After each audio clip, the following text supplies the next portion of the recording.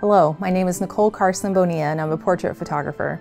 Sometimes my creative concept for a photo shoot will start with an inspiration piece, like these nesting hat boxes I found at Goodwill. I was really drawn to the large floral print on them in these rose and beige vintage colors, and I could imagine a young blonde girl being photographed with these wearing a rose-colored dress. Over the next few weeks, I kept my eyes open and found the perfect rose-colored bed sheets to use. And I love using bed sheets because they come in very large pieces of fabric, the colors are beautiful, and they're super comfortable and easy to work with. I decided to make a throw skirt and a matching blouse for my model to wear. The top section of the skirt is literally a flat circle with the waist cut out of the middle. Then I added a waistband that can be adjusted to fit a waist from about 20 inches up to about 30 inches. I prefer to make the top of the skirt lay flat against the body as opposed to being gathered at the waistband. It makes a slimmer silhouette on the model. I added two wide ruffles to the bottom half of the skirt. I used my ruffle foot on my serger to speed up the process. For the blouse, I knew I wanted to add some lace in the same rose color. It would add texture without adding too much contrast. I bought about five yards of lace from SAS Fabrics, which is one of my favorite local fabric stores. I created a middle panel on the front of the blouse. I cut strips of lace the same width as the center panel. Then I used basting spray to hold them in place until I top stitched them to the blouse panel. I also wanted to add lace to the top of the sleeve to add an extra feminine touch. I made a ruffle slightly wider than the lace and sewed them both into the top of the sleeve.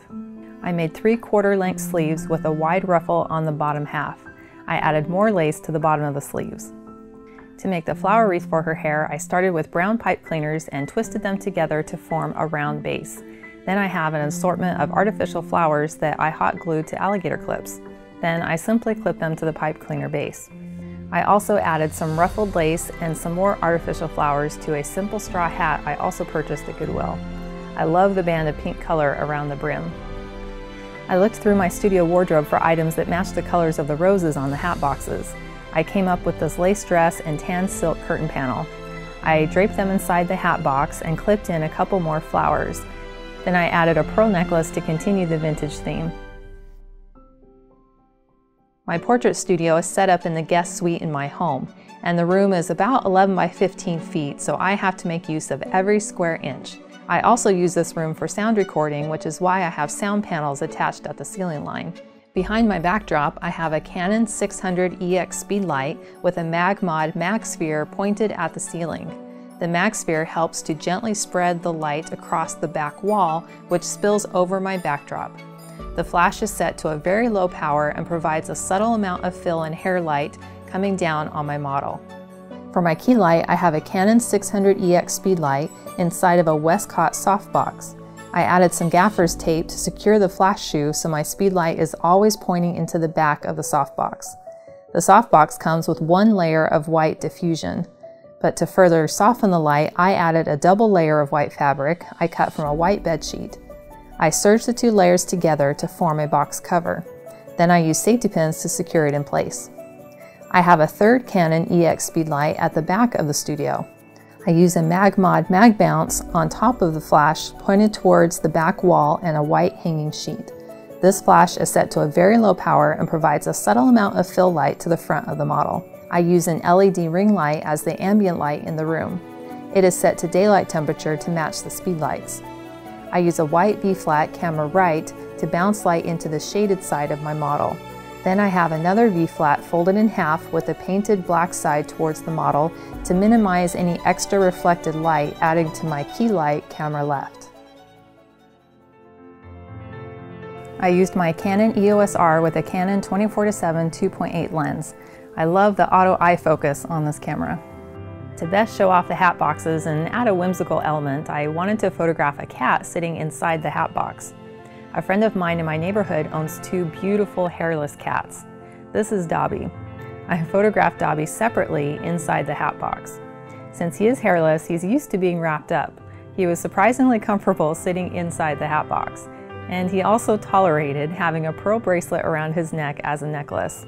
I find it is so much easier to photograph the models separate from the pets and then just composite them together later. I set up the hat boxes on a small side table I borrowed from my mom. She conveniently lives next door to me. and I unrolled my light gray painted backdrop. Then I brought in my model Amelia in the rose-colored skirt and blouse that I had made. I love adding movement to the skirts and fabrics in my portraits. My daughter Rebecca came in and threw the skirt for me while I snapped the shutter. Amelia is also a very talented musician, so I had her bring her violin. I used my brown hand-painted backdrop to be harmonious with the color of the violin. I switched out the hat for the flower wreath. Then I had my daughter throw the skirt to add some movement. I then switched places with her and let her press the shutter button while I threw some pink chiffon fabric to create the shapes that I had in mind. I wanted this fabric to be a visual representation of the sound coming from the violin. I like to import my photos into Exposure X6 for culling and organizing. I use the color tags to identify my favorites. Once I've selected my favorites, I export a JPEG copy to Photoshop for editing. I shoot in RAW and prefer to slightly underexpose my photos. For the Hatbox portrait, I selected five photos to combine in Photoshop. I selected one photo to use for the cat, one throw of the left side of the skirt, and three throws to combine for the right side of the skirt. Here is the progression of the layers. Once in Photoshop, I had to expand my background, clip out my elements, and then seamlessly layer them together to appear as one photo. For the violin portrait, I combined about seven photos to get the best skirt movement on the left and the right, and several throws of the pink chiffon fabric. Here's the progression of the layers in this photo. Again in Photoshop, I had to expand my background, clip out my elements, and then seamlessly layer them together to appear as one photo. The second violin portrait only required one photo to edit. Once my Photoshop editing was complete, I went back into exposure and did my final color edits on the layered Photoshop files. I used a combination of two presets, Kodak Ultra Color 100 UC and Golden Hour Orange. I adjusted their balance until I got the look I was wanting. I used the same color grading on all three portraits to get a consistent look. I entered three of these portraits in the Portrait Masters International Awards and Accreditation Program, and I am so excited to have won two silver awards and a bronze with distinction on them. And I'm so grateful to Amelia for being a fantastic model, and I am so excited to have these portraits in my portfolio. I hope you enjoyed this behind the scenes look at my creative photo shoot, and if you liked it, please consider clicking the like and subscribe buttons below then I can keep making videos like this one.